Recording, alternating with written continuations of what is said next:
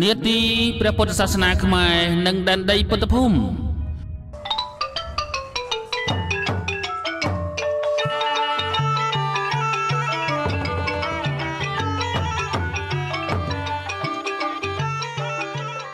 នាទីនេះនឹងនាំយកនៅពុទ្ធប្រវត្តិរបស់ព្រះបរមសាពុទ្ធវប្បធម៌អរិយធម៌ទំនៀមទម្លាប់សិលសាស្ត្រប្រពៃណីរវាងប្រទេសទាំងពីរមកសម្ដែងចែកជូនដល់ខេមរៈពុទ្ធវិមកជន ដើម្បីឲ្យកាន់តែយល់ច្បាស់និងស៊ីជម្រៅក្នុងពុទ្ធសាសនា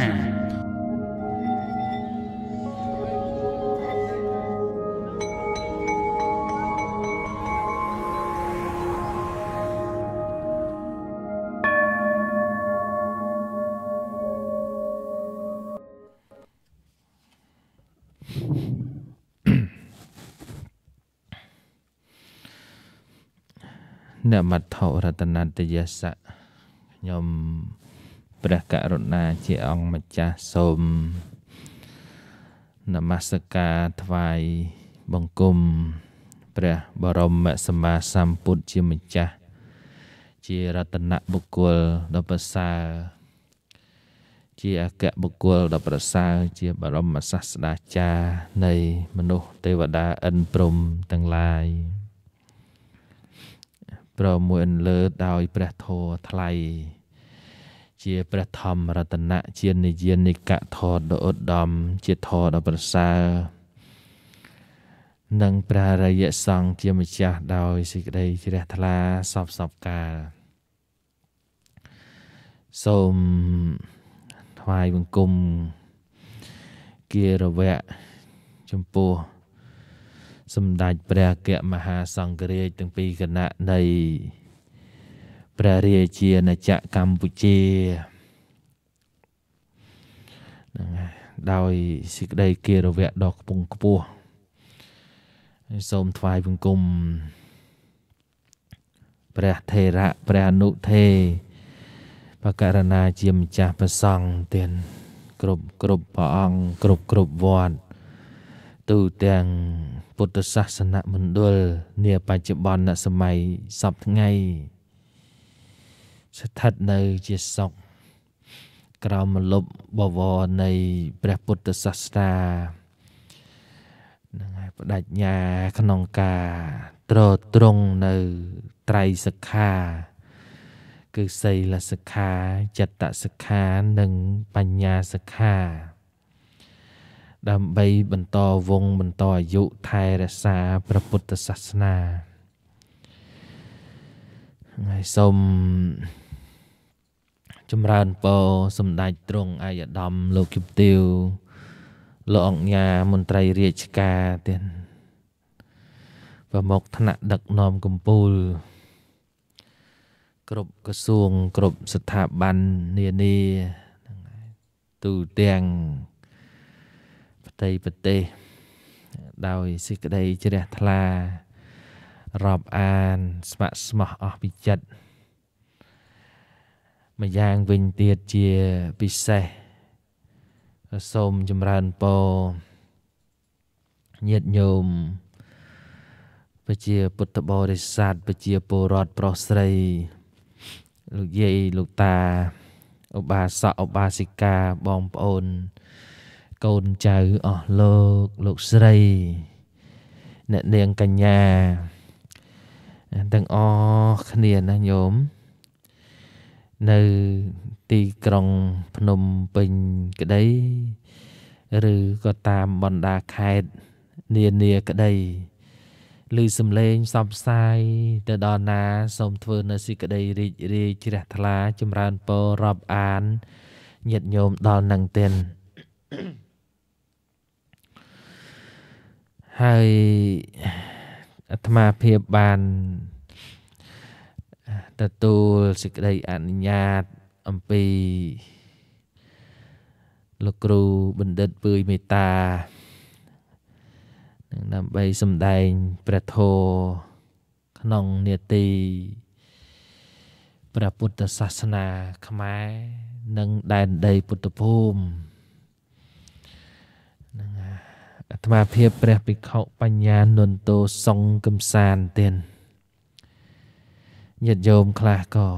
ធ្លាប់ស្គាល់ធ្លាប់រាប់អានធ្លាប់ជួបញាតិញោមខ្លះមិនដែលជួបទេមិនដែលស្គាល់ទេគុណអើយ ហើយរីករាយជ្រះថ្លាស្ដាប់ប្រធរបន្តទៀតសាយពធបន្តផ្ទាល់ហើយរាត្រីថ្ងៃនេះថ្ងៃសុក្រ11រោចរនោចខែបោះឆ្នាំឆ្លូវត្រីស័កពុទ្ធសករាជ2565ត្រូវនឹងថ្ងៃទី 28ខែមករាឆ្នាំ2022ញាតិញោមខ្លះក៏ទទួលទានអាហារពេលល្ងាចរួចហើយហើយខ្លះទៀតហ្នឹងក៏ចងមុងហ្នឹងហ្នឹងហើយចងមុង នៅស្រុកស្រែចំការជនបទម៉ោង7យប់អីចងមុងហ្នឹងញោមហ្នឹងហើយចងមុងហើយពធហ្នឹងហោះចូលក្នុងមុងទៅទៀតសម័យកាលនេះសម័យកាលនេះទៀតសម្បូរធរស្ដាប់ណាស់ឲ្យតែមាននៅសទ្ធា មាននៅសោតប្រសាទឲ្យតែមានសទ្ធាហ្នឹងគឺមិនខ្វះទេយោធរស្ដាប់តែបើថាអត់សទ្ធាវិញទេសអីទេសតែគុណឯងតាហ្នឹងហើយសំបីតែមើលសំបីតែមើលក្នុង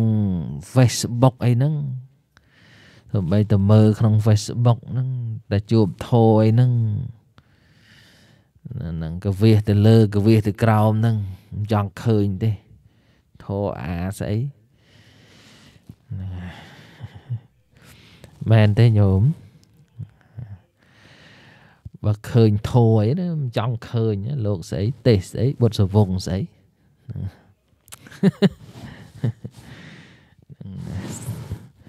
ហើយបើ អេបើមើលឃើញធោអីហ្នឹងពីរនាក់5នាក់អីចុចចូលមើលទៀតហើយបើថាគេទៅចោលគេហែកហួរគ្នាលែងលះប្តឹងផ្ដាល់គ្នាអូតាមដានណាស់តែបើថាធោវិញមិនខ្ចីតាមដានអីទេហ្នឹងហើយប្រហែលអ្នកដែលត្រេកអរនៅក្នុងធោទៀត ញាតិញោមហើយមិនសូវសម្បូរអ្នកដែលត្រេកអរក្នុងធរទេណាមិនមិនសូវទេ ទៅជាយល់ថាធរនឹងសម្រាប់តែយាយយាយ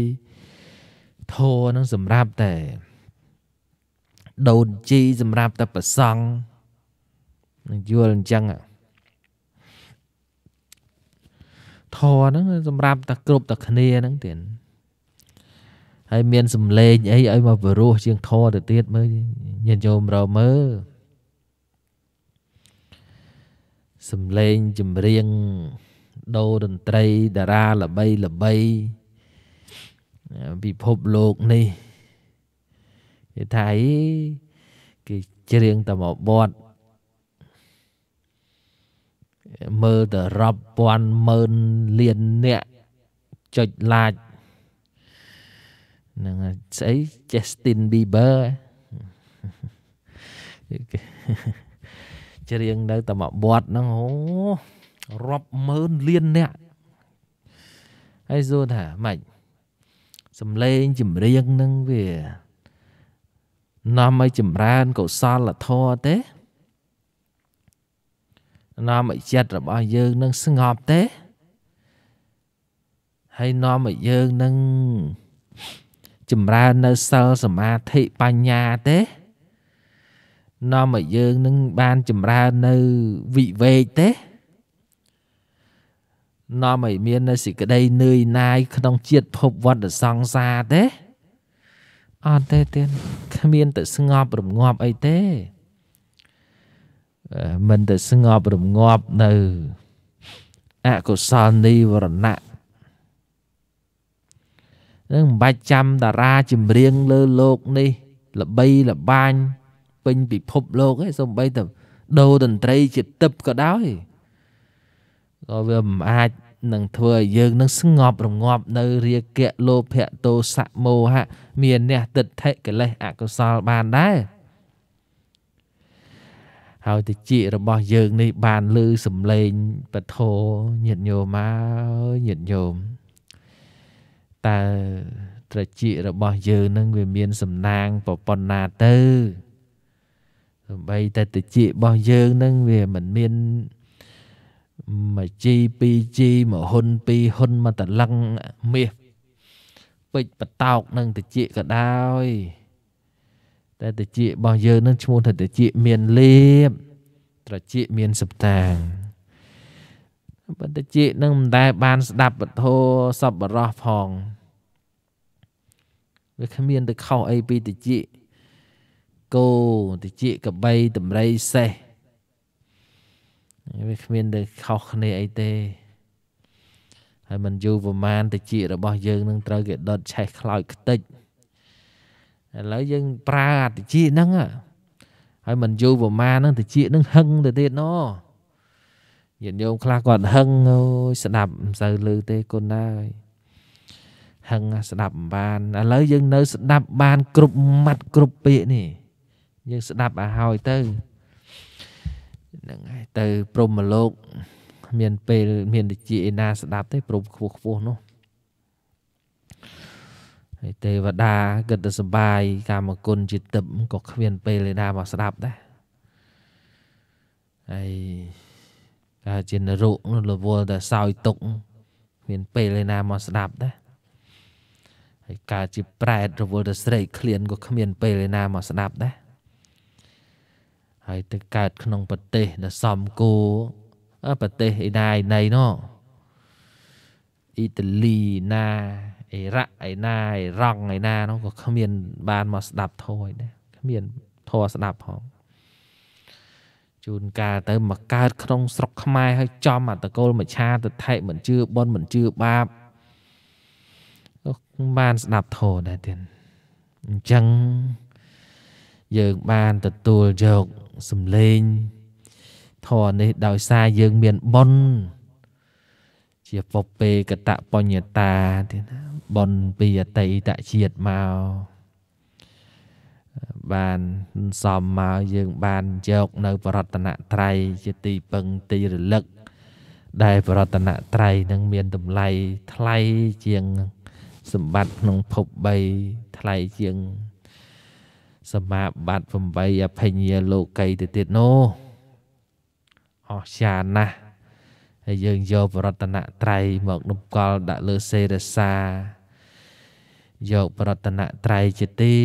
ពឹងទីរលឹក យើងនឹងវាសបាយចិត្តប៉ុណ្ណាទៅ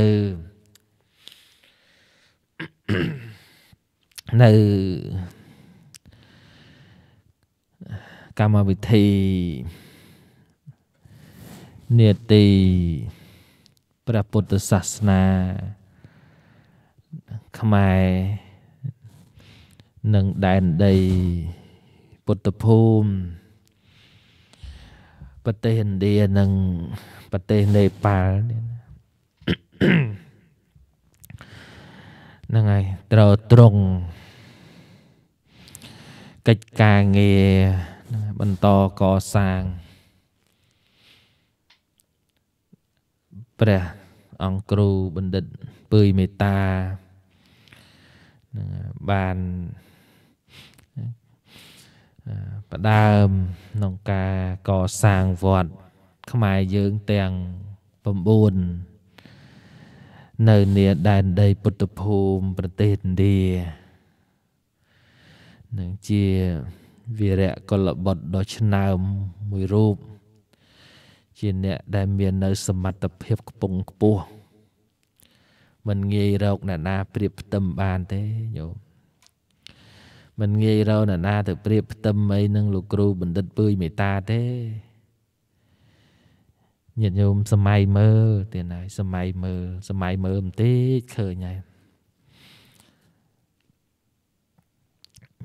វត្តនៅស្រុកខ្មែរយើងវត្តខ្លះហ្នឹងដីវត្តហ្នឹងដីមានស្រាប់ញាតិញោមប្រកេនមកវត្តហ្នឹងដីនឹងមានស្រាប់ពីយូរ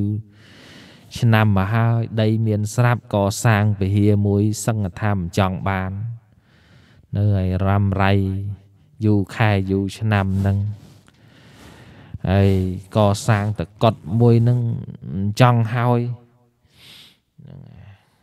តែមិនស្រួលហ្នឹងឆ្លោះគ្នាពេញហ្នឹងទៀតកថាហ្នឹងក៏ធ្វើឃើញតែធ្វើប្រជុំបិណ្ឌហ្នឹងហើយឃើញតែសូម តែវាមិនឃើញហើយអត់ឃើញហើយនេះហ្នឹងហើយរវល់ទេណារវល់រវល់ទៅអនុមោទនាហ្នឹងបានលុយទៅចែកគ្នាទៅពហិនៅដដែលហ្នឹងពហិនឹងនៅដដែលហ្នឹងទៅទៅមុខវាអត់រួចទៅមុខអត់រួចហើយបាបទេណាហ្នឹងហើយចេះតែ ហ្នឹងហើយចេះតែប៉ះពាល់លុយសង់លុយវត្តអីចឹងបាបធ្លាក់នរកបាទនឹមរាជចុះទៅអើតែឃើញសត្វនរកហ៎ហ្នឹងហើយ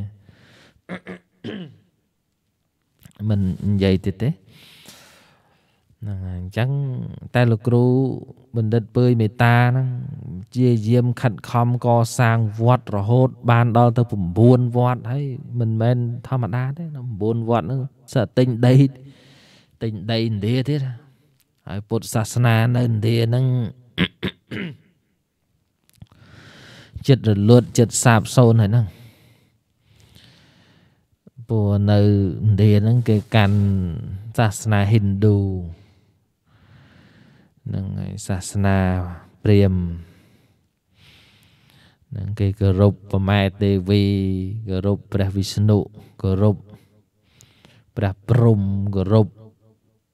ចេះតែគោរពទៅស្អីក៏ព្រះដែរព្រះគោគោគោនឹងយានជំនិះរបស់នឹងយានជំនិះរបស់ព្រះសេវៈអីចឹងតែអញ្ចឹងគឺគោរពគោ ហើយនៅទីក្រុងពរិណស័យឬក៏នៅទីក្រុងអីផ្សេងផ្សេងហ្នឹងទៀតណាឃើញគោដេកនៅតាមផ្លូវហ្នឹងសត្វគោទៀតណាគោធំធំដេកនៅតាមផ្លូវហ្នឹងតាមផ្លូវហ្នឹងទៅឡានកផ្លេតិចតិចតិចតិចមិនខ្ចីជិះមិនជិះទេមិនងើប ចង់ឲ្យស្ទះអីស្ទះទៅ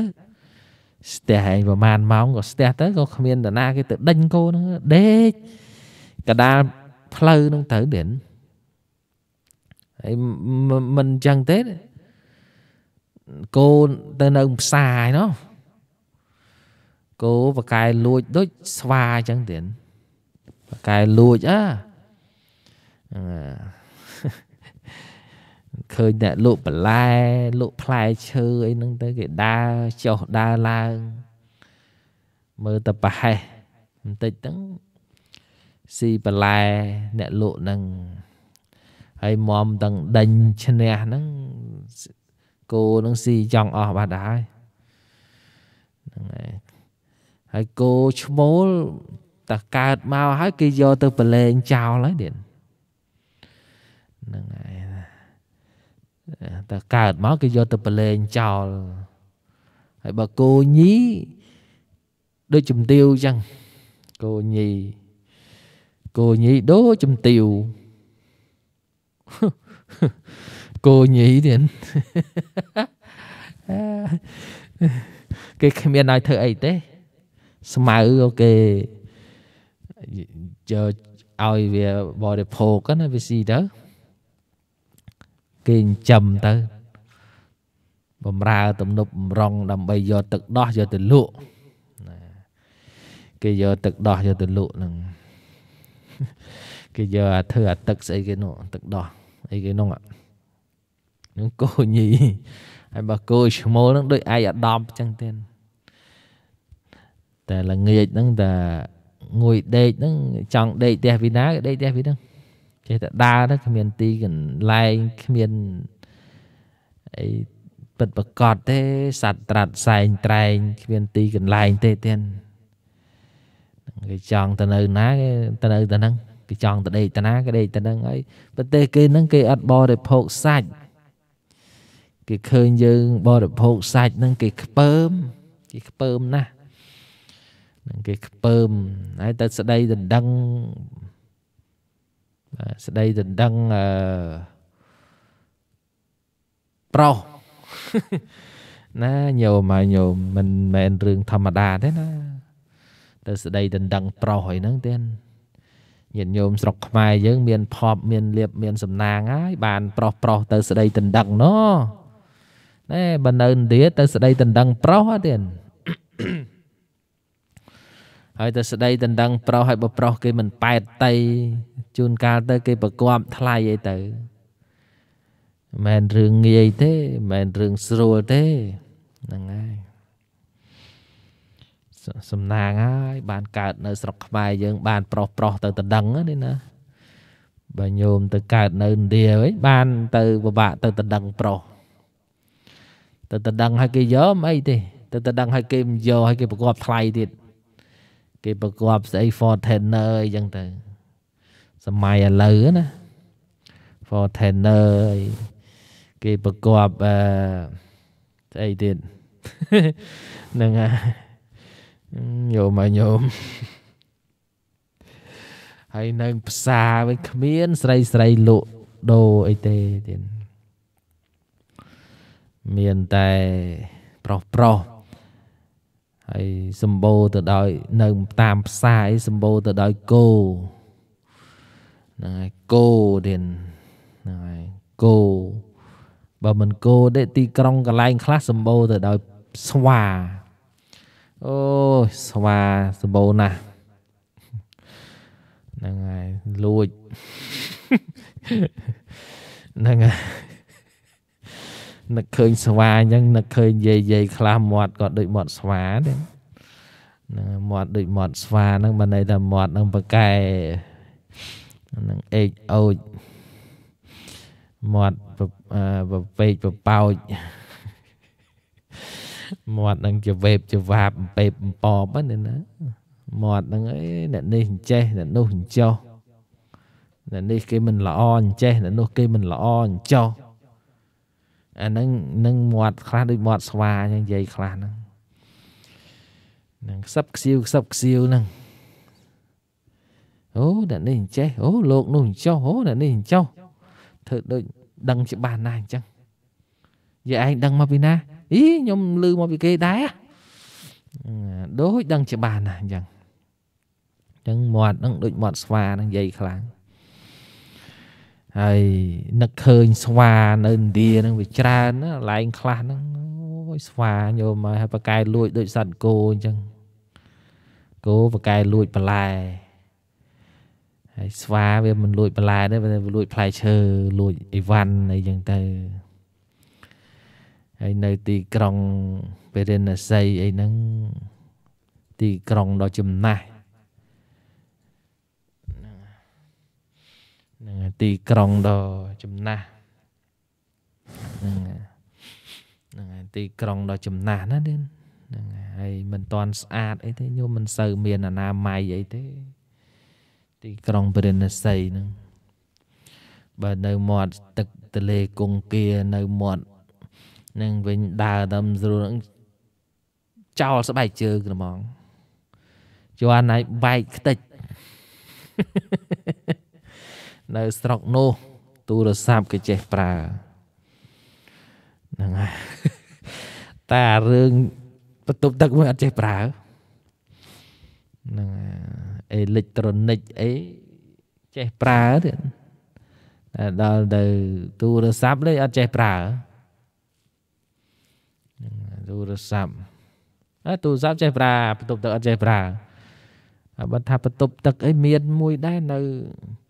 បន្ទប់ទឹកមានមួយមួយអីណានៅច្រកព្រំដែន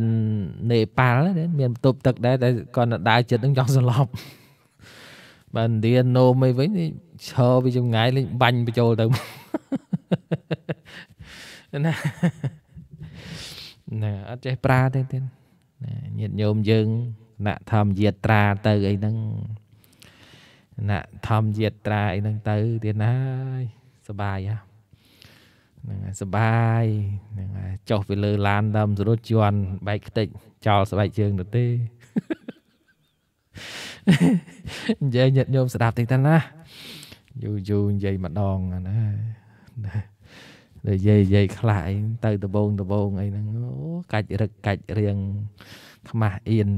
ណោះដើរឯងឆ្ងាយដល់ណាដល់ណី តែប្រហែលថ្ងៃក្រោយមកហ្នឹងក្បែរកង់ឡានហ្នឹងឯង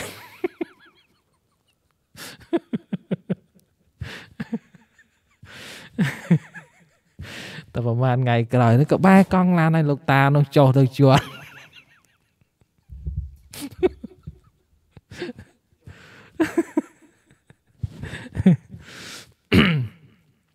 ញាតិញោមអាញាតិញោមសម័យមើលថាប្រទេសយើងវា អនាម័យល្អណាចុះពីលើឡានទៅស្រូបខ្យល់អាកាសធម្មជាតិអីល្អតែនៅនោះមិនបានទេញោមតែចុះមិនស្រួលនឹងជន់បែកហ្នឹងហើយអត់អត់ចេះប្រើបន្ទប់ទឹកទេហើយគេបន្ទោបងអីម៉ូតលិមុអីនឹងតាមផ្លូវអីចឹងទេណាគៀនគៀនអែបអែបផ្លូវអីចឹងទៅ ហ្នឹងហើយនិយាយអីអាក្រក់ស្ដាប់បន្តិចទៀតអាពេលចិត្តភ្លឺទេណាពេលចិត្តភ្លឺម៉ោង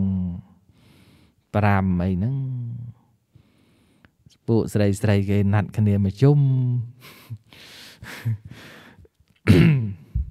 ហើយពួកប្រុសប្រុសហ្នឹងគេណាត់គ្នាមកជុំដែរវាយជាវងដោះថ្មិញបដាទៅគេ បន្ទោបងម៉ូតលេមុខបដាគេជជែកគ្នាបដាអញ្ចឹងទៅនិយាយញាតញោមញាតិញោមខ្លះខ្ពើមគាត់នៅលើអញ្ចឹងហីកូនហើយកណាមិនចង់ទៅទេអញ្ចឹងហេទៅទៅញោមសបាយសបាយប៉ុនទៀតបានទៅដែនដីព្រះ យើងធ្លាប់តែអានក្នុងគម្ពីរធម្មបទ ស្ដាប់លោកសំដែងប្រវត្តិរឿងរ៉ាវព្រះអរិយបុគ្គលអរិយសាវកអរិយសាវិកាតែដល់បានទៅផ្ទាល់ចិត្តនឹងវារំភើបវាទៅសែតអណ្ដែតហើយយើងចង់ភៅពីយើងទៅទេមិនមែនចង់ភៅឥណ្ឌាទេទេណាតែចង់ភៅឥណ្ឌាហ្នឹងមិនបាច់និយាយទេទេហ្នឹង ចង់ភៅឥណ្ឌាហ្នឹងមិនបាច់ទេនឹងដៃហ្នឹងនឹងប្រឡាក់ស្អីហើយនឹងយកទៅជូតកតោបស្អីឃើញសពគ្រប់ទៀតហើយជិះឡានខ្លះ25ម៉ោង ពេលខ្លះជិះឡាន2ដល់10ម៉ោងថ្ងៃខ្លះជិះឡាន10ម៉ោងពីមួយកន្លែងទៅមួយកន្លែងហើយនឹកដល់ ព្រះពុទ្ធអង្គដែលព្រះអង្គពេលខ្លះព្រះអង្គពុទ្ធដំណើរស្ដេចយាង ទៅដោយប្របាទណាมันមានទៅដោយរិទ្ធអីទេហើយចម្ងាយផ្លូវរាប់10គីឡូរាប់យោជរាប់គីឡូទៀតដោយព្រះតីករណាដោយប្រតីករណាសំដែងពធទេសនាហើយនៅក្នុងគេកាន់តែហិណ្ឌូទេ ហិណ្ឌូហើយពុទ្ធសាសនាចិត្តអន្តរធានហើយហើយបានលោកគ្រូបណ្ឌិតពើយមេតានឹងផ្ដើម ដឹកនាំកសាងវត្តបានរហូតទៅដល់9វត្តយើង9នេះណាតែថៃមិនមែន9ទេណាដើរទៅឃើញទៅវត្តថៃហើយមហាអស្ចារធំធំស្អាតស្អាតទៅទៀត ហ្នឹងអស្ចារណាស់វត្តភូមាវត្តទីបេវត្តអឺប្រទេសចិនវៀតណាមគេមកកសាងវត្តនៅហ្នឹងហើយយើងក៏មានវត្តខ្មែរយើង ដែលដឹកនាំដោយព្រះអង្គគ្រូបណ្ឌិតពើយមេតាហ្នឹងជាយូរឆ្នាំហើយទៀតហ្នឹងហើយ ចិត្ត3ទសវត្សរ៍ហើយ ដោយការខិតខំប្រឹងប្រែងកសាងនឹងញាតិញោមជ្រាបហើយថាកកសាងវាមិនងាយត្រូវចំណាយថវិកាច្រើនណាស់រាប់ពាន់ម៉ឺនសែនលានដុល្លារទៀតពួកដីនៅក្នុងថ្លៃហើយសំណង់ក៏មិនមែនទៅថោកអី ដែកស៊ីម៉ង់អីអីនៅប្រទេសគេនោះហើយមួយយ៉ាងទៀតហ្នឹងចាំបាច់ហ្នឹងប្រគេនចង្ហាន់ប្រសង់ហ្នឹងឯងត្រត្រង់បើមានទៅវត្តហើយអត់មានលោកនៅក៏មិនកើតត្រូវតែមានលោកនៅហ្នឹងហើយហើយសពថ្ងៃហ្នឹងបន្តកសាងមហាសមិទ្ធផលធំធំកំពុងតែ កសាងនៅព្រះចោឡាមនីចេតីកម្ពស់35ម៉ែត្រ3ជាន់1 2 3ទាំងជាន់ក្រោមមួយទៀត4ហ្នឹងហើយតម្លៃហ្នឹងទៅ60ម៉ឺនទៅ70ម៉ឺនដុល្លារនោះ60ម៉ឺនទៅ70ម៉ឺនដុល្លារទៀត ហើយកសាងហ្នឹងតាំងតែពីឆ្នាំ2018រយៈកាលជាង3ឆ្នាំហើយហ្នឹងហើយចំណាយថវិកាហ្នឹងអស់58ម៉ឺនដុល្លារទៀត58ម៉ឺនដុល្លារហ្នឹងគាត់តែចំណាយហើយចិត្តអឺវត្តខ្មែរលំពិនីមើលទៅឃើញស្អាត ហ្នឹងហើយនៅខ្វះ30%ទៀតញាតិញោមបបួលកូនចៅបបួលញាតិមិត្តបបួលបងប្អូនអីណាដើម្បីបានអនុមោទនាចូលរួមកសាងព្រះចោឡាមនីចេតីទៀតហ្នឹងដើម្បីតម្កល់នៅ ព្រះសវណ្ណកោតព្រះបរមសារីរិកធាតុនៃព្រះសម្មាសម្ពុទ្ធជាម្ចាស់ដើម្បី ទុកជាទីគោរពសក្ការៈបូជានៃមនុស្សទេវតាឥន្ទព្រំទាំងឡាយយើងមិនបានទៅថ្វាយអង្គមព្រះចោឡាមនីចេតីឋានតាវតឹងទេណាយើងបានថ្វាយអង្គមព្រះចោឡាមនីចេតីនៅឯលំភិនីទៀតហើយញាតិញោមចូលរួមបានណាទៀតហ្នឹងសំងមួយតោនហ្នឹង150ដុល្លារហើយដែក 920ដុល្លារហ្នឹងហើយសសសសហ្នឹង1500ដុល្លារទៀតសសរមួយដើម1500ដុល្លារឬក៏ចូលកសាងសុវណ្ណកោតមាសសុទ្ធមាសសុទ្ធ110តម្លឹងនឹងមាសសុទ្ធ110តម្លឹងហ្នឹងហើយថ្លៃឆ្លួល អស់10តម្លឹងទៀតញាតិញោមអនុមោទនាចូលរួមដើម្បីជាពុទ្ធបូជាហ្នឹងហើយជាពុទ្ធបូជាបូជាចំពោះគុណនៃព្រះសម្មាសម្ពុទ្ធជាម្ចាស់អ្វីអ្វីនៅក្នុងលោកយើងអាចប៉ានស្មានដឹងតម្លៃបានទៅមាសមជីថ្លៃប៉ុណ្ណេះមហុនថ្លៃប៉ុណ្ណោះ ហ្នឹងហើយតែគុណរបស់ព្រះអង្គយើងមិនអាចនឹងថ្លឹងថ្លែងបានឡើយមិនអាចនឹងពោលរៀបរាប់ទៅព្រះអង្គមាននៅ ព្រះបញ្ញាគុណប៉ុណ្ណេះព្រះវិសុទ្ធិគុណនឹងប៉ុណ្ណោះព្រះមហាករុណាគុណនឹងប៉ុណ្ណេះវិមុតតិគុណប៉ុណ្ណោះវិមុតតិញាណទស្សនៈគុណនឹងប៉ុណ្ណេះសីលគុណប៉ុណ្ណោះសមាធិគុណប៉ុណ្ណេះយើងមិនអាចនឹងថ្លឹងថ្លែងយើងមិនអាចនឹងពោលរៀបរាប់បានឡើយ ហើយបានប្រទេសភូមិមាអីគេកសាងបច្ចេកដីអំពីមាសទៀតរហូតដល់ទៅ70តោនមាសអីនោះទេស្រីលង្កាកសាងប្រាសាទដំបូលមាសហ្នឹងហើយហើយយើងនឹងកសាងតែចំនួន110តម្លឹងទៀត110តម្លឹងដើម្បី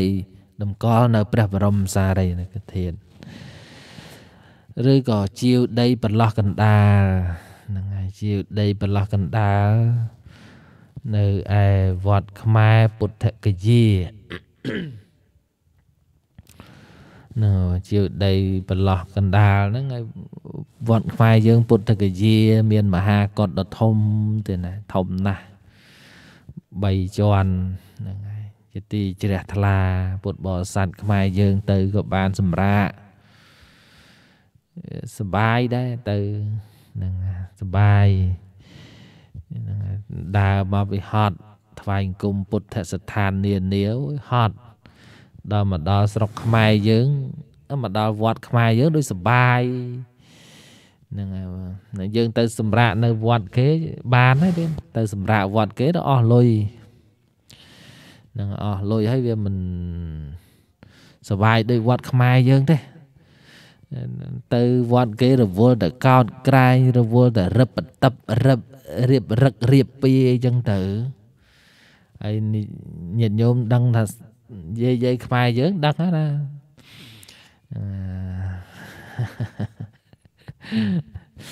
នឹងឡូឡាអីទៅពេលខ្លះអីហ្នឹងអូតែ5នាក់ទេប្រហែលមនុស្ស20នាក់នោះហ្នឹង ហ្នឹងតែមិនស្រួលទៅតថ្លៃឯងពេញផ្សារហ្នឹងគ្មានចេះភាសាឥណ្ឌាស្អីទេតែចេះតថ្លៃទៀតហ្នឹងយាយយាយខ្មែរយើងហ្នឹងហើយបើថាទៅថៃវិញគ្មានចេះថៃទេទៅតថ្លៃឯងពេញផ្សារម៉ាក្រូផ្សារ Big C ហ្នឹងទៀតទៅតថ្លៃគេពេញគ្មានចេះថាចេះមិនចេះថៃទេតិចជឿហ្នឹងមែនណា អូអាងឯងពេលខ្លះគិតមិនដល់យាយយាយដែរគិតអត់ដល់ទេគាត់ទិញបានរបស់គាត់មែនគាត់ទិញបានគាត់ដាក់កាសចូលទៅតាមគាត់ហុចអាកាសចូលហ្នឹងឲ្យឲ្យឥណ្ឌាអាត្មាចេះលបមើលនេះមិនហ្នឹងគេគេចេះទិញបានໄວហ្នឹងហុ ចកាសចូលឲ្យឥណ្ឌាហើយឥណ្ឌាវាយលេខប៉ាប់ប៉ាប់ប៉ាប់ហុចឲ្យយាយនឹងវិញយាយនឹងណូអត់ទេអត់យកទេយាយនឹងតថ្លៃតទេហុចឲ្យឥណ្ឌាវិញទៀតអេចេះតែលបមើលហីខ្លាំងណាស់បកែតថ្លៃដែរចឹងអេអស់ចាណាញាតិញោមខ្លះគាត់ ពេលខ្លះនឹកអត់ដល់ញាតិញោមទេនឹកមិនដល់នេះខ្លាំងហ្មងញាតិញោមក្នុងវ៉ាលីគាត់នឹងមានទាំងព្រីភ្លើងទៅតាមទៀតអាបវាយណាណៃនោះសួរថាញោមឯងមិនដាក់ព្រីមកតាមអញ្ចឹងហេអាអូតែខ្លះរិះកំណាញ់ណាគុណណោះវាដាក់នៅឆ្ងាយណាស់ណែកណាដេកនៅនេះអញ្ចឹងគាត់ដាក់អាព្រីភ្លើងនឹងមកតាមទៀតកុំឲ្យពិបាកបញ្ចូលទូរស័ព្ទ កន្លែងដេកគាត់ហ្នឹងពេលខ្លះនឹកអត់ដល់យាយយាយទេខ្លាំងហ្មងអានឹងតាមដែលធ្លាប់ដឹកនាំអ្នកធម្មយាត្រា បំពេញបន់ជាមួយញាតិញោមនឹងក៏មាន ប្រវត្តិមានអនុស្សាវរីយ៍ជាច្រើន ជាមួយនឹងញាតិញោមនឹងដាក់ទាំងព្រីភ្លើងដាក់ទាំងស្អីស្អីទៅងៀតស្អីស្អីទៅតាមហ្នឹងមានសពគ្រប់ប្រការទៀតលេងមួយខែទៅឥណ្ឌាមួយខែលេងគាត់មិនទាន់អស់សាច់គោងៀតទៀត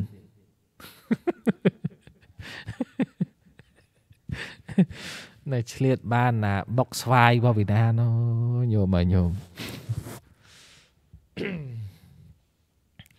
ហើយញោមខ្លះទៅលេងដាក់ទឹកសុទ្ធទាំងពីស្រុកខ្មែរទៅ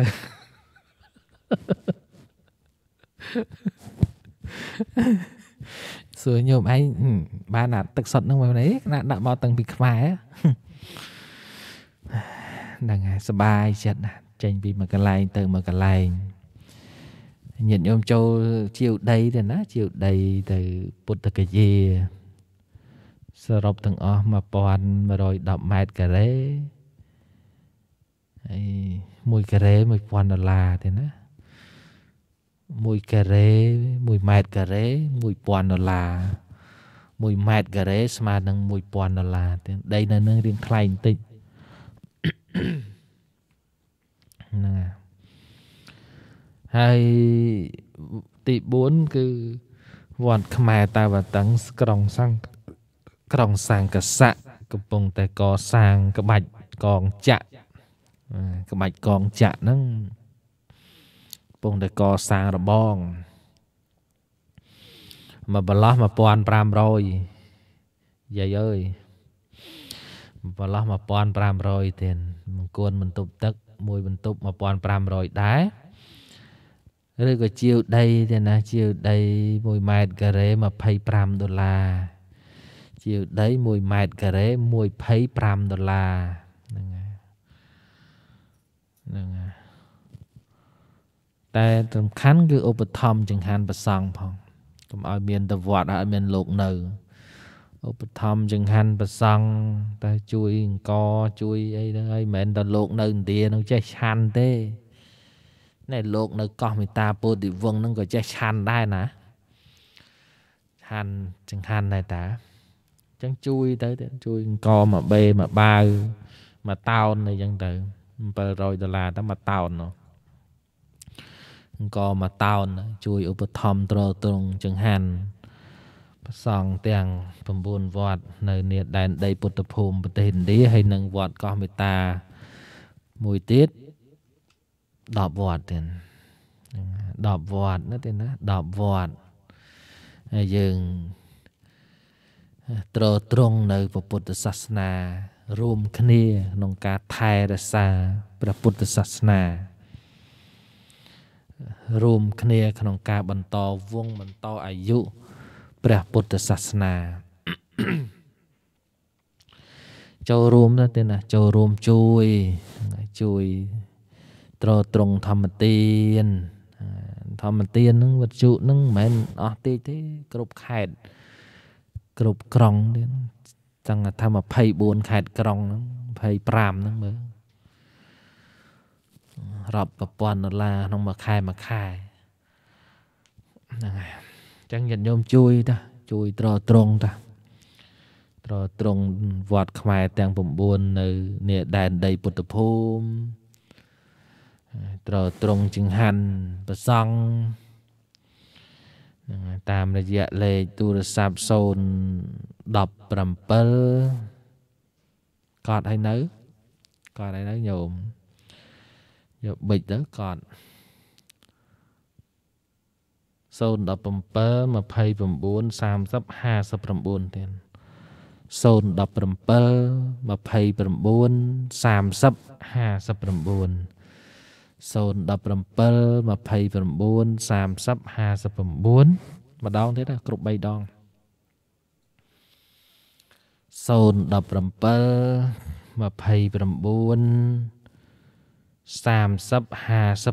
59ទៀត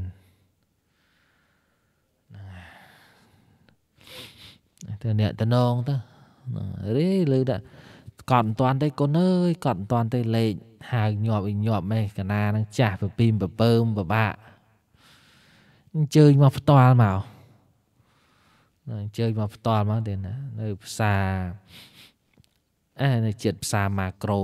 ខាងកើតផ្សារម៉ាក្រូខាងត្បូងផ្សារអេអន2ផ្លូវអង្គញាម៉ុងរិទ្ធីមកដល់បលាយបលាយ ស្ពានអង្គញាម៉ុងរិទ្ធីហ្នឹងឃើញខ្លោងទ្វារដ៏ស្អាតធំពណ៌មាសហ្នឹងហើយជាទីជ្រះថ្លាហ្នឹងអញ្ជើញចូលមកគាត់លេខ4ទៀតនៅទីស្នាក់ការកណ្ដាលហ្នឹងគាត់លេខ4ហ្នឹងហើយទៀតនៅទីស្នាក់ការកណ្ដាលហ្នឹងបបួលយាយយាយមកមួយអាតុកតុកមក មក pass up អីមកនាំចង្ហាន់នាំអីមកទៅទៀតហ្នឹងហើយកុំមកទៅទេយាយអើយតោះយើងនាំគ្នាធ្វើចង្ហាន់ទៅប្រកេនប្រសង់វត្តកោះមេត្តាពោធិវង្សហើយភ្ជាប់និស័យក្នុងការត្រត្រង់ដែនដីពុទ្ធភូមិត្រត្រង់វត្តវត្តខ្មែរយើងមិនមែនវត្តទីបេវត្តប៉ាគីស្ថានវត្ត បង់ក្លាដេសវត្តចិនវត្តវៀតណាមវត្តថៃទេ គឺវត្តខ្មែរយើង របស់ខ្មែរទេតានៅលើទឹកដីគេមែនប៉ុន្តែរបស់ខ្មែរយើងលើកទង់ជាតិខ្មែរយើងនៅនឹងហ្នឹងហើយយើងលើកទង់ជាតិខ្មែរយើងនៅនឹងទេរបស់ខ្មែរយើងហ្នឹងហើយញាតិញោមត្រត្រង់ទៀតណាត្រត្រង់ អញ្ជើញមកផ្ទាល់មកនាំចង្ហាន់នាំអីមកផងហើយថ្ងៃសើមិញហ្នឹងក៏សំដែងនៅក្នុងបដិច្ចសមុបបាទធរហោហាជាច្រើនថ្ងៃហើយទៀតបដិច្ចៈហ្នឹងគឺអាស្រ័យឧបាទៈហ្នឹងគឺការកើតឡើងបដិច្ចសមុបាទៈ ហើយសាំងហ្នឹងវាតាមលំដាប់ណានេះណាតាមលំដាប់ដោយអាស្រ័យបច្ច័យនឹងដោយអាស្រ័យបច្ច័យហើយបដិច្ចសមុបាទហ្នឹងមានអង្គ12មានអង្គ12អវិជ្ជាសង្ខារវិញ្ញាណនាមរូបសាលាយតនៈផស្សៈវេទនាតណ្ហោបាទានភពជាតិជារាមរណៈសោកៈបរិទេវៈទុក្ខទោមនសៈនិងឧបាយាសៈ គ្រប់12ទាំងទៀត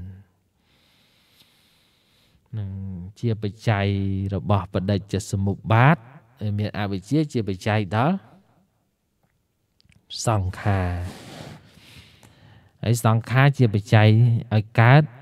វិញ្ញាណវិញ្ញាណជាបច្ច័យឲ្យកើតនាមរូបនាមរូបជាបច្ច័យឲ្យកើតសាលាយតនៈសាលាយតនៈជាបច្ច័យឲ្យកើតផស្សៈផស្សៈជាបច្ច័យឲ្យកើតវេទនាវេទនាជាបច្ច័យឲ្យកើតតណ្ហា តណ្ហាជាបច្ច័យឲ្យកើតឧបាទានឧបាទានជាបច្ច័យឲ្យកើតភពភពជាបច្ច័យឲ្យកើតជាតិហើយជាតិជាបច្ច័យឲ្យកើតជារាមរណៈសោកៈបរិទេវៈទុក្ខទោមនសៈនិងឧបាយាសៈនឹងនឹងការកើតឡើងនៃកងទុកទាំងអស់ហ្នឹងរមែងមានដោយប្រការដូចនេះនឹងការកើតឡើងនៃកងទុកហ្នឹងទៀតណាហ្នឹងហើយ បើអធិប្បាយទៅក៏មិនតន់អស់ដែរនឹងអធិប្បាយច្រើនហើយតកតងទៅនៅក្នុង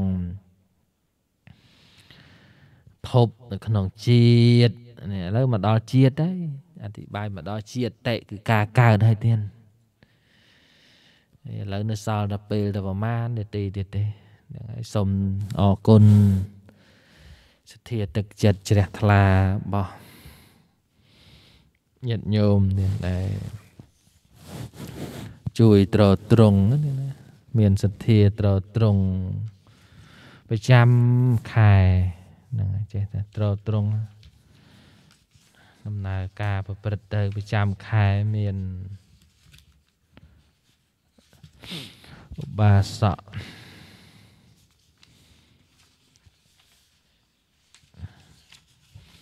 ណាដែរកដាស់តណា ច្រើនពេក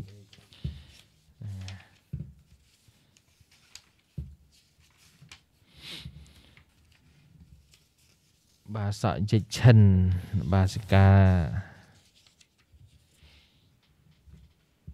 តែសមាលីហៅញោមបួយឧបត្ថម្ភប្រចាំខែក្នុងមួយខែ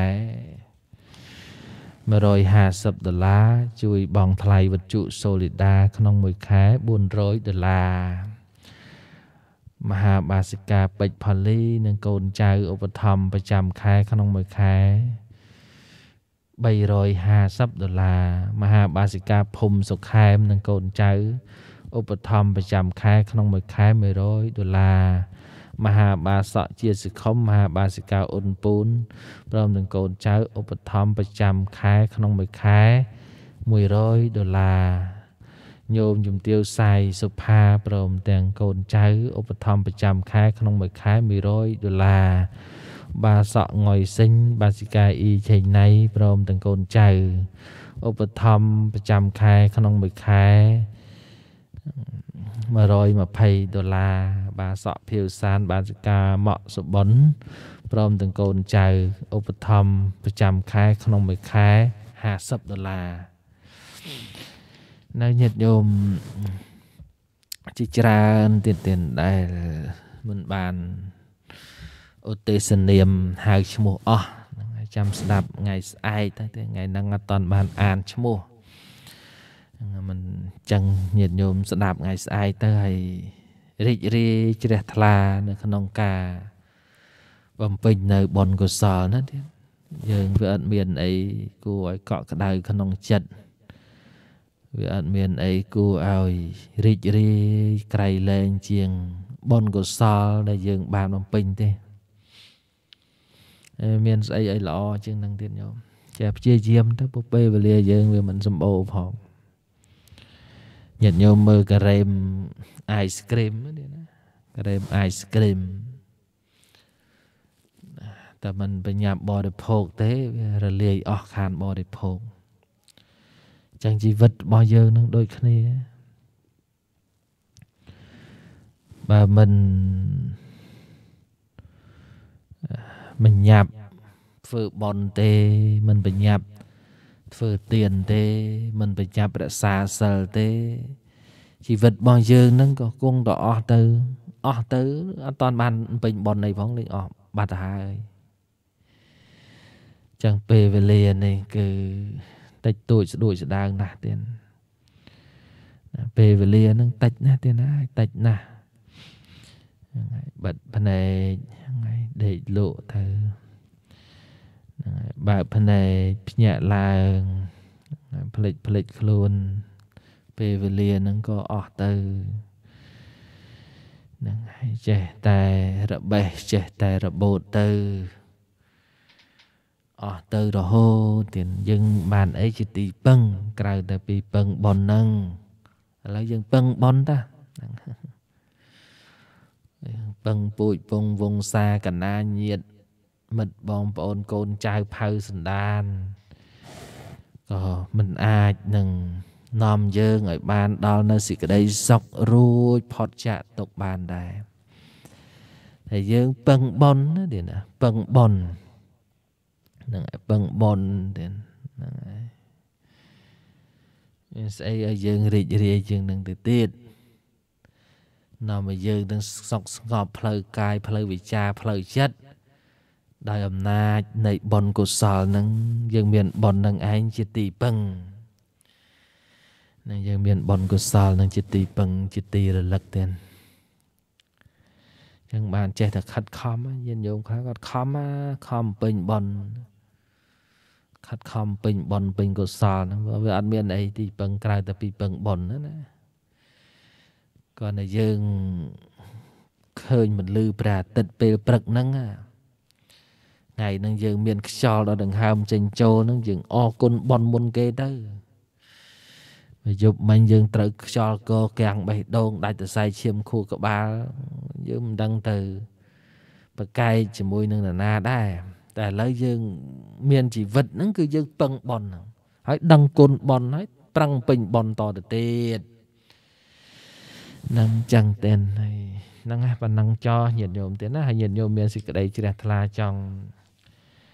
ចូលរួមត្រត្រង់ដែនដីវត្តខ្មែរទាំង9នៅដែនដីពុទ្ធភូមិប្រទេសឥណ្ឌាប្រទេសនេប៉ាល់ឬក៏វត្តកំពិតាពុទ្ធិពងឧបត្ថម្ភប្រាក់ផ្សាយពធអីជាដើមឧបត្ថម្ភចង្ហាន់អីជាដើមទៀត